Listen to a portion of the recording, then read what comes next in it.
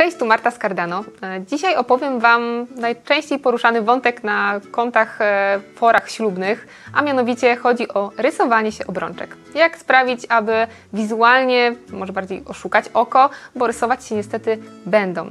Z racji tego, że obrączki no jest to biżuteria codzienna, e, którą nosimy cały czas przy sobie, jest narażona na wiele czynników zewnętrznych typu pukanie, ocieranie o jakieś metale, klamki, drzwi, tego typu rzeczy, więc niestety rysowanie jest nieuniknione. Ale w dzisiejszym filmiku dowiecie się o 11 sposobach, jak zaradzić temu i wybrać obrączki, które wizualnie będą wyglądały na mniej zarysowane.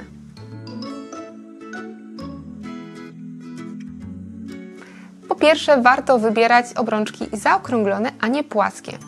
Zobaczcie sami, okrągłe obrączki, takie o półokrągłym profilu, e, mają zaokrąglone te brzegi i dzięki temu inaczej odbijają światło, przez co nasze oko mniej wychwytuje ewentualne zarysowania. Natomiast na płaskich obrączkach, gdzie powierzchnia jest równa, no jak takie lustro właściwie, te zarysowania niestety będą bardziej widoczne. Po drugie, zdecydujcie się na węższe obrączki. Dzięki temu, że obrączki są wąskie, mamy mniejszą powierzchnię, którą możemy uszkodzić. E, Dodatkowo takie wąziutkie obrączki bardzo często sami możemy ochronić, ponieważ mogą one tutaj schować się w zagięciu palca.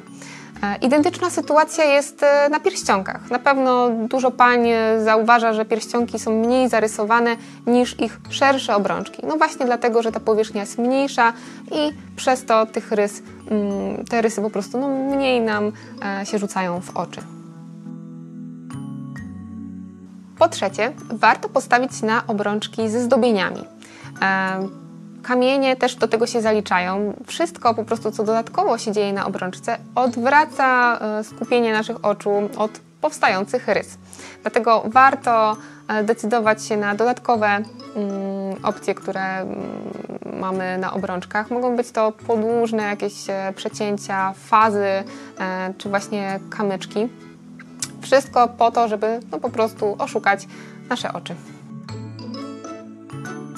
Po czwarte, warto decydować się na polerowane obrączki, ponieważ paradoksalnie rysy, które będą powstawać, też będą pod spodem błyszczące.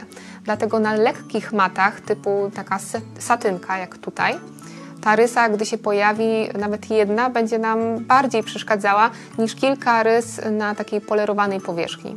Warto też e, wspomnieć o tym, że nawet na takiej polerowanej obrączce, gdy te rysy zaczną już się na siebie nakładać, to po czasie po prostu zaczną się jakby mm, same polerować i ta obrączka już nie będzie aż tak źle wyglądać. Dlatego bardzo często e, na początku e, młode pary są zaniepokojone, że ich obrączki wyglądają gorzej po miesiącu noszenia niż obrączki rodziców po 30 latach. Także spokojnie, Wasze obrączki też znowu będą piękne. Po piąte, jeśli nie jesteście miłośnikami polerowanych obrączek, to spokojnie.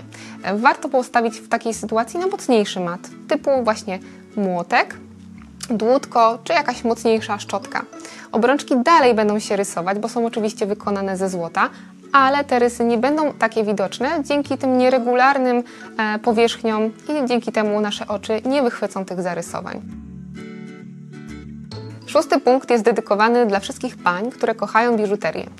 Jeśli macie więcej na dłoni niż tylko obrączkę i pierścionek zaręczynowy, no to musicie brać pod uwagę, że wszystkie sąsiadujące z obrączką e, przedmioty będą ją rysować. Obrączka będzie się cały czas kręcić na palcu i to będzie niestety powodowało, że będzie się e, ona uszkadzać.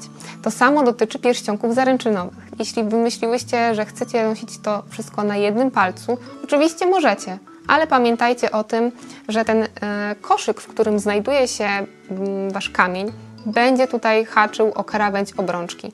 I to niestety będzie powodowało jej rysowanie, a czasem nawet e, poszarpanie krawędzi. Dlatego no, warto przełożyć e, pierścionek na drugą dłoń lub ewentualnie poświęcić coś i sobie nosić tutaj na łańcuszku.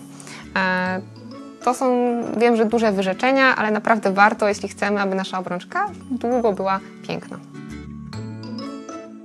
Po siódme, Odpowiednia próba złota. Najbardziej polecaną jest ta 585 e, z racji tego, że mamy tutaj delikatną przewagę złota nad innymi metalami w stopie. Nie decydujcie się proszę na e, wyższe próby typu 750. Oczywiście możecie, ale raczej e, odradza się taką wysoką próbę, ponieważ im więcej złota, tym bardziej miękkie są obrączki, a przez to bardziej narażone są na zniekształcenia. Łatwiej je wygiąć i uszkodzić. Kolejną złotą poradą, już ósmą, e, będzie po prostu przełożenie obrączki na drugą dłoń, tą, która nie jest wiodąca. Wiem, że to jest troszeczkę kontrowersyjne i pewnie część z Was pomyślała, ale jak to można przełożyć obrączkę? No ale słuchajcie, jakby mm, ten zwyczaj noszenia obrączki na prawej dłoni jest stosunkowo młody, bo dopiero mm, jest e, u nas od, po, po I wojnie światowej, a kiedyś nosiły obrączki tylko kobiety. Dodatkowo e, większość świata jednak nosi obrączki na lewej dłoni z racji tego, że jest ona bliżej serca. E, takim chyba oczywistym powodem jest, dlaczego to proponuję. Jeśli macie obrączkę na dłoni, której mniej używacie, no to automatycznie ta obrączka jest mniej narażona na ewentualne puknięcia, szarpnięcia o klamki, poręcze, tego typu rzeczy. E, I dzięki temu po prostu unikamy tych wszystkich złych, niedobrych rys. Także jeśli jesteście praworęczni, to możecie spokojnie przełożyć sobie obrączkę na lewą dłoń, a jeśli jesteście leworęczni, no to z powodzeniem na prawą. Dziewiątą poradą i bardzo istotną kwestią jest oczywiście technologia i materiał, e, z których będą wykonane Wasze obrączki. Mm, dzięki temu Wasze obrączki będą po prostu dłużej żyły, no i jakościowo będą lepsze.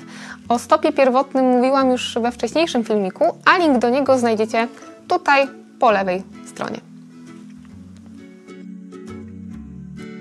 Dziesiątym punktem, no to jest bardziej taka prośba do Was, zdejmujcie swoje obrączki przy ciężkich pracach typu remont łazienki, przekopanie ogródka, czy nawet, nie wiem, no, pójście na siłownię. Naprawdę to wydłuży ich żywotność i Wam przy okazji e, też e, zaoszczędzi palce, bo czasami można sobie zrobić duże ała, a naprawdę nie warto. Witam przy jedenastym, ostatnim punkcie. Gratulacje dla wszystkich, którzy wytrwali do końca.